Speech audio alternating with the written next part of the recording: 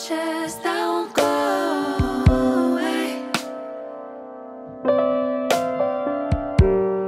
It's time for something new.